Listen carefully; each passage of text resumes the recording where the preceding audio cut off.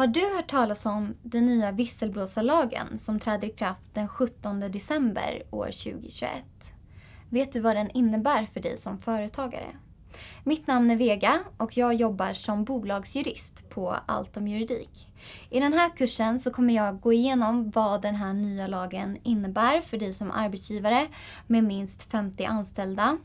Jag går igenom hur en säker inrapporteringskanal kan se ut, vad för typer av missförhållanden man kan anmäla, vilka situationer som skyddas och vilka situationer som inte skyddas.